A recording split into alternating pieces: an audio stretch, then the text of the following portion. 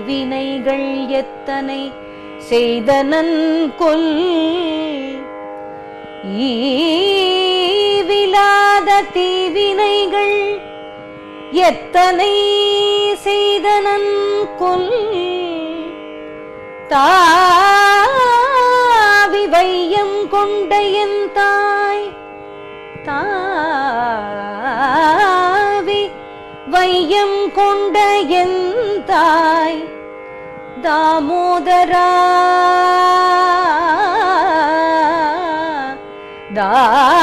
தாமோதரா என்றென்று கூவி கூவி கூவி கூவி நெஞ்சுருகி கண்பணி சோர நின்றால் கண் பனிச்சோர பாவி நீ என்றென்று சொல்லாய். பாவியேன் காண வந்தே பாவியேன் காண வந்தே.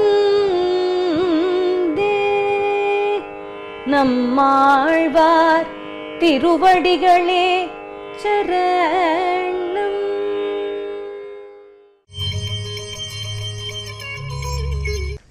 भक्तामृतं विश्वजनानुमोदनं सर्वार्थदं श्रीषटगोपवाङ्मयं सहस्रशाखोपनिषत्समागमं नमाम्यहं द्राविडवेदसागरम्। ஈவிலாத தீவினைகள் எத்தனை செய்த நன்கள் தாவி வையம் கொண்ட எந்தாய் தாமோதரா என்றென்று கூவி கூவி நெஞ்சுருகி கண் பணிசோரன் என்றால் பாவினி என்று ஒன்று சொல்லாய் பாவியேன் காண வந்தேன். ఇవిలాద తీవినైగల్ అంటున్నారు నాశం లేనటువంటి క్రూర పాపాలు ఎత్తనే చేయదనన్గల్ ఎన్ని చేశానో స్వామి నేను ఇన్ని చేశాను అని లెక్కలేదు అన్ని పాపాలు చేశాను అవి ఎలాంటివి క్రూరమైనటువంటి పాపాలు అవి నాకు నాశం లేనటువంటి పాపాలు పోని పోగొట్టుకుందామన్నా పోయేటటువంటి పాపాలు కావు. తావి వయ్యం కొండ. నాయనా ఈ భూమిని అంతటిని కూడా కొలిచావు కదా ఆనాడు. వామనుడిగా వచ్చి ఇంకా కొండ తీసుకున్నటువంటి స్వీకరించినటువంటి ఎందాయ్ స్వామి నా కోసమే ఆనాడు వామనుడిగా వచ్చి భూలోకాన్ని ఈ లోకాన్ని అంతటిని కూడా కొలిచావు కదా స్వామి. దామోదర దామోదరుడిగా అవతరించావు కదా కృష్ణ పరమాత్మగా ఈ లోకంలో. ఎండ్రెండ్రు అని అని కూవి కూవి అలా పిలిచి పిలిచి అంటే ఆ నామాలనే వామన దామోదర అని అని అలా అనడం వల్ల ఏమైందట? నెంజురిగి ఈ మనసు కాస్త కరిగిపోయిందట. కరిగేమైంది? ఈ మనస్సు కరిగినప్పుడు దానిలో ఉన్నటువంటి ఆ ఆర్ద్రత బయటికి ప్రవహించేటటువంటి మార్గము కళ్ళు కనుక కణ్ పణిశోర కళ్ళంట నీళ్ళు ధారలు కడుతున్నాయట. అయినా సరే నిండ్రాల్ అలా ఉన్నప్పటికీ నువ్వు పావి నీ ఎండ్రు ఒండ్రు సొల్లాయం నువ్వు పాపివి అని ఒక్కసారి నీవు ఒక్కటి చెప్పు. మరేం అక్కర్లేదు నాకు. నువ్వు పాపివి. పావి ఏం కాణవందే ఈ పాపాత్ముడిని ఒక్కసారి చూడ్డానికి వచ్చి నువ్వు పాపాత్ముడివి. కనుక నీకు నా దర్శన భాగ్యం కలగదు అని చెప్పే చాను ఏదైనా సరే నీ నోటి మాట కావాలయ్యా తండ్రి అంటున్నారు ఈ పాసురంలో ఇక్కడ ఆయన మనుష్యాది రూపేణ అంటే మనుష్యుడిగా మొదలైనటువంటి రూపాలతో ఆయన ఎన్నో అవతారాలు ఆశ- అవతరించాడు స్వామి. ఈ దివ్యావతారాలన్నీ కూడా చేసి దేనికోసమని? ఆశ్రిత పరిత్రాణం కోసమని చేశారు.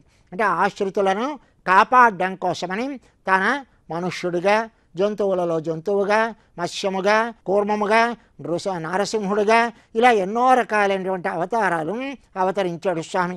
ఎందుకు ఈ అవతారాలన్నీ? ఆశ్రిత పరిత్రాణం ఆశ్రితులను రక్షించడం కోసమని చేసేట. ఈ ఆశ్రితులను రక్షించడం కోసమని ఇలా ఎన్ని అవతారాలు ఎత్తి ఉన్నావే. అలాంటి నువ్వు నేను నా కళ్ళ ఎదురుగా సాక్షాత్కరించిన దివ్యమంగళ విగ్రహాన్ని దర్శనం అనుగ్రహించు అంటే అనుగ్రహించలేవా? అనుగ్రహించగలవు. కానీ అనుగ్రహించడం లేదు స్వామి అంటున్నారు. ఆ క్రూర పాపాలు చేశానంటున్నారే. ఏమిటి వీరు చేసినటువంటి క్రూర పాపములు? అంటే తన స్వామిని ఎదురుగా ప్రత్యక్షంగా దర్శనం చెయ్యాలి అంటే చెయ్యకుండా అడ్డుతున్నటువంటి పాపములు కనుక ఎంత ఘోరమైన పాపములు కాకపోతే స్వామిని చేరకుండా చేస్తాయి అని చెప్పి అవి తీవినైగల్ అవి క్రూరమైనటువంటి పాపములట. అంటే తన కోరికని ఈడేరనివ్వకుండా చేస్తున్నటువంటి పాపములవి. అవి నాశము నాశములైనటువంటి పాపములట. ఏమి? అనుభవిస్తే తీరుతుంది కదా పాపాలు. వీరెక్కడ అనుభవించారు? ఎప్పుడు నాశనము లేదంటున్నారే? వీరెక్కడ అనుభవించినట్టు మనకు కనిపిస్తుంది. అంటే ఏమీ లేదయ్యా. స్వామితో విరహం కలిగితే ఒక్కసారి ఆ విరహం కలిగినప్పుడు వారు అనుభవించినటువంటి దుఃఖమున్నదే ఆ దుఃఖమే అనుభవం. అదే వారు అనుభవించినటువంటి కర్మ. అంతకన్నా ఏం కావాలయా అంటారు.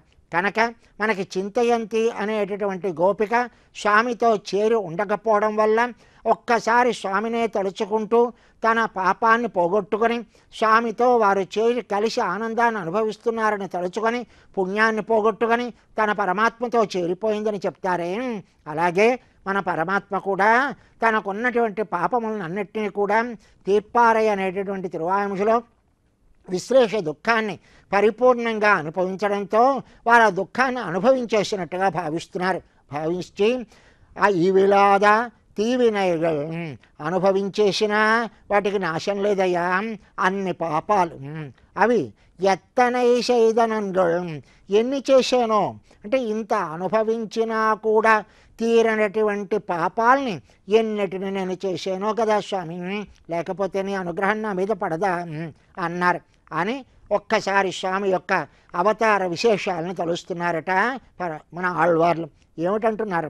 తావి వయ్యం కొండ మొత్తం ఈ భూమినంతటినీ కూడా వామనావతారంగా వామనుడిగా వేయించేసి బలిచక్రవర్తిని ప్రార్థించి ఆ బలిచక్రవర్తి చేత దానాన్ని పట్టి ఆయనకి గురువు గారు వద్దని అడ్డు చెప్పినా సరే ఆయన ఔదార్యము కలిగిన వాడు కనుక దానం చేయడంలో గొప్పవాడు కనుక ఆయన దాన తీర్థాన్ని చేతిలో పడగానే ఒక్కసారి త్రివిక్రముడిగా పెరిగి మొత్తము లోకములన్నింటినీ కొలిచి మళ్ళీ తన లోకములన్నింటినీ రాజ్యాన్నంతటినీ సుభిక్షంగా ఉన్నదో లేదో చూసుకొని మళ్ళీ ఇంద్రుడికి అప్పచెప్పినటువంటి వాట స్వామి. ఈ వృత్తాంతం ఎందుకు చేశాడు?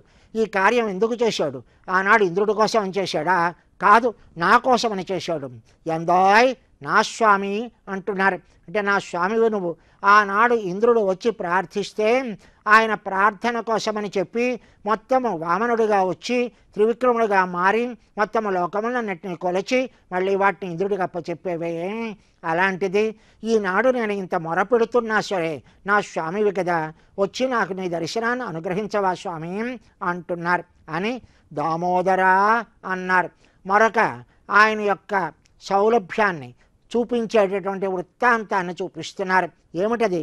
దామోదర అంటే కృష్ణుడిగా అవతరించి ఆనాడు రెండు మద్ది చెట్ల మధ్యలోంచి స్వామి రోలికి కడితే తల్లి యశోద ఆ రెండు మద్ది చెట్ల మధ్యలోంచి ఆయన వెళితే ఆ మద్ది చెట్లు విరిగి పడిపోతే ఆనాడు రోలికి కట్టినటువంటి ఆ చిన్న చిన్న తాళ్ళన్నీ కలిపి ముళ్ళు వేసి ఆ తాడే బొజ్జకి కట్టి దానితో రోకలికి రోలుకి కడితే ఆ కట్టినటువంటి సన్నివేశాన్ని ఒక్కసారి తలుచుకొని నాయన ఆనాడు యశోదకి లొంగేవు కదా స్వామి ప్రేమ చేత వాత్సల్యం చేత ఆమెకి లొంగి ఆమె చేత కట్టుబడ్డావు కదా స్వామి అవతరించడం మాత్రమే కాదు ఆమె చేత కట్టుబడ్డావు. అని దామోదరా అన్నట్ట ఈనాటికి కూడా స్వామి తన ఉదరం మీద ఆ నాడు కట్టినటువంటి తాడు యొక్క మచ్చని కలిగి ఉండి ఆనాడు నేను ఇలా మా తల్లికి లొంగి ఉన్నాను అని ఆమె కీర్తిని ప్రకాశింపచేస్తున్నట్ట కనుక దామోదరా అన్నారట. అని రెండు వృత్తాంతాలని చెప్పారు. ఒకటి ఆ ఇంద్రుని యొక్క కోరికను అనుసరించి ఆయన యాచనను అను అనుసరించి తన ఈ లోకంలో అవతరించి ఒకేసారి రెండు అవతారాలను స్వీకరించి వామనుడిగా త్రివిక్రముడుగా వచ్చి మొత్తం భూమినంతటిని కొలిచి ఆ ఇంద్రుడికి ఇచ్చినటువంటి సన్నివేశం ఒకటి. రెండవది యశోదకి వాత్సల్యం చేత ప్రేమ చేత ఆమె కష్టపడుతూ ఉంటే చూసి ఓర్వలేక తన బొజ్జను అక్కళించి ఆమెకు తాడికి కట్టబడి రోలికి కట్టబడ్డవాడు స్వామి కనుక ఆ వృత్తాంతాన్ని చెప్పారు. అంటే పరమాత్మ అన్నట్ట నాయన ఇంద్రుడు సత్వగుణ సంపన్నుడయ్యా. అంచేత వాడికి లొంగాను. ఏకే యశోద తల్లి కనుక ఆమెకు నన్ను కట్టడానికి అవకాశం కలిగింది. అంతేకాని నువ్వు అంత పుణ్యం ఎక్కడ చేసావయ్యా నీకు అలాంటి సత్వగుణము లేదు.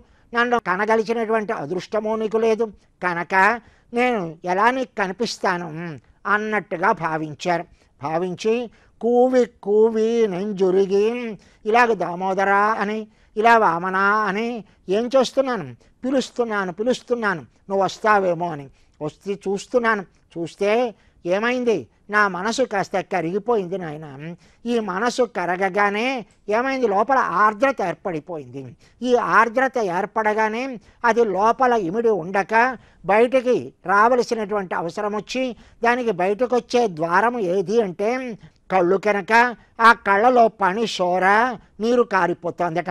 అలాగూ లోపల నిన్ను తలచి తలచినందువల్ల కలిగినటువంటి ఆర్ద్రత వల్ల నా మనసు కరిగిపోయి ఆ మనసు కరిగినటువంటి ఆర్ద్రత లోపల ఇమడక బయటికి కళ్ళ వెంట నీళ్ళు ధారగా కారుతూ ఉంటే మినరాల్ అలా ఉన్నాను నేను. ఏమని ఉన్నాను? నీ పేరు పిలుస్తున్నాను. నీ నామాలను పిలుస్తున్నాను. వేరొక దాన్ని తలవడం లేదు. తలవకుండా తెలవకుండా నీ నామాలనే తలుస్తూ ఉన్నప్పటికీ నువ్వు రావడం లేదు. అయితే నువ్వేం చెయ్యాలి? పోనీ నువ్వు రాలేవు. నువ్వు నాకు దర్శనం ఇవ్వలేవు. నీకు నేను దర్శనం ఇయ్యనయ్యా అని ఒక్క మాట చెప్పు. ఏమని? పావి నీ ఎండ్రు. నువ్వు పాపాత్ముడివి అని చెప్పు. అంతే అంతకన్నా నాకేం అక్కర్లేదు. ఏం కావాలట? సొల్లాయ్ చెప్పు. ఏం చెప్పాలి? నువ్వు పాపాత్ముడవయ్యా ఆళ్వార్ కనుక నీకు నేను దర్శనం ఇవ్వలేను. అంచేత రావడం లేదు అని ఒక్క మాట చెప్పవయ్యా. పావియేన్ నేను పాపాత్ముణ్ణి. కాణవంది ఒక్కసారి నేను చూడ చూడ్డానికి తగినట్టుగా వచ్చి నువ్వు పాపాత్ముడివి కనుక నీకు దర్శనము నేను ఇవ్వలేను. నా దివ్యమంగళ విగ్రహ దర్శనము నీకు కాదు అని ఒక మాట చెప్పుచాను. అంతకన్నా నేను కోరేది లేదు అంటున్నారు ఈ పాశురంలో. అంటే ఏమిటి? అంటే వీరికి కావలసినది అది మంచా చెడ కాదు. అది తనను ఉద్ధరించేటటువంటి మాట లేక తన కష్టాన్ని కలిగించే మాట కాదు. మరి ఏం కావాలి? ఆ భగవంతుని యొక్క ముఖ ముఖము నుంచి వెలువడినటువంటి మాట మాత్రమే కావాలట. కనుక సొల్లాయ్ అన్నారు నాయన నీ ముఖ కమలం నుంచి ఒక్క మాట చెప్పవయ్యా. ఏమని చెప్పాలి? నువ్వు పాపాత్ముడివి. కనుక నేను రాను నేను దర్శనం ఇవ్వలేను అని ఒక్కసారి చెప్పు. చాను నాకు.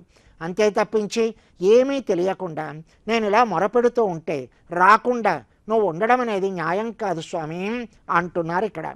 అయితే ఈయనకు కోరిక ఏమిటి? మొదటిది సొల్లాయ్. అంటే ఆయన్ని ఆయన నోటి నుంచి మాట వినాలి అనే కోరిక.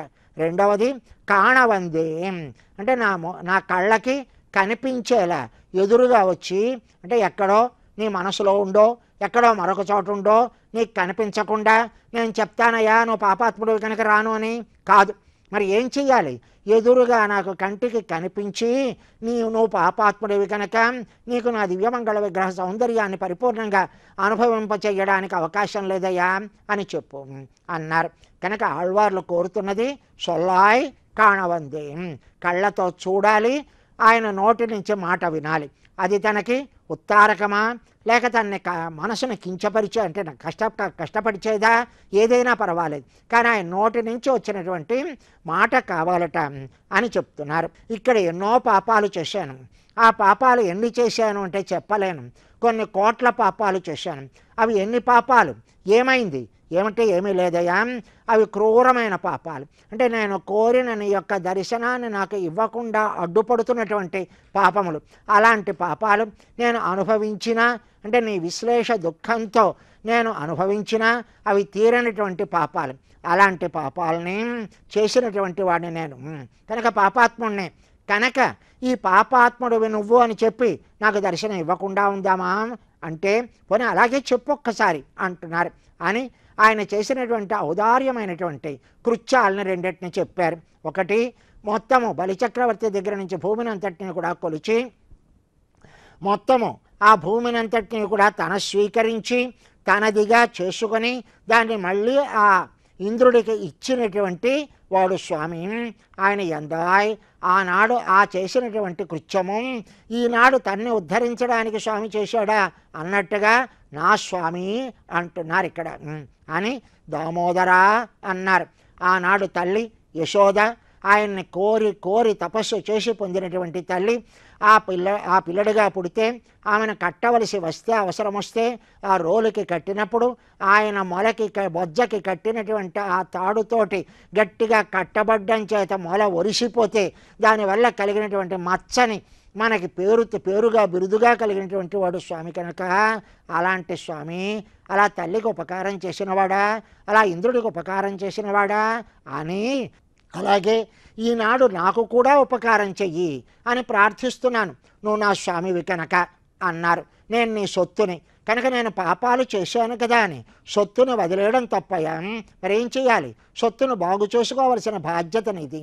కనుక నువ్వు నన్ను అంగీకరించు స్వీకరించు. అయితే ఏం చేయాలి ఇలా పలుకుతూ ఉంటే నా మనసు కరిగిపోయింది స్వామి. కరిగిపోయిన మనస్సు ఏమైంది? కళ్ళంట నీళ్ళు ధారాపాతంగా వస్తున్నాయి స్వామి. అలా నేను ఉన్నాను ఉన్నా ఇంత నా మనసు కరిగి నీ కోసమని పరితపిస్తూ ఉంటే నువ్వు కావాలి అని కోరుతూ ఉంటే ఒక్కసారి ఎదురుగా వచ్చి దర్శనం ఇవ్వడానికి నేను చేసిన పాపములన్నిటినీ చూసి నేను పాపాత్ముడిని భావించి నువ్వు నన్ను స్వీకరించను అని కానీ అంటే ఒక్కసారి రా వచ్చి ఎదురుగా కనిపించి చెప్పు. ఏమని చెప్పాలి? పావిని. నువ్వు పాపాత్ముడివి అని చెప్పు. అంతకన్నా నేను మరొకటి కోరడం లేదు నువ్వు నాకు అలాగ దర్శన భాగ్యాన్ని పరిపూర్ణంగా ఎప్పుడూ అనుగ్రహిస్తూ ఉండని కోరడం లేదయ్యా నువ్వు పాపాత్ముడివి కనుక నీకు నేను అనుగ్రహించడానికి అవకాశం లేదు అని సొల్లాయ్ చెప్పు అంతకన్నా కోరేదేం లేదయ్యా అని ప్రార్థిస్తున్నారు ఈ పాశురంలో స్వస్తి ஈவிலாத தீவினைகள் ஈவிலாத தீவினைகள் எத்தனை செய்தனன் கொல் ஈவிலாத தீவினைகள் எத்தனை செய்தனன் கொல் தாவி வையம் கொண்ட என் தாய் தாவி வையம் கொண்ட என் தாய் தாமோதரா.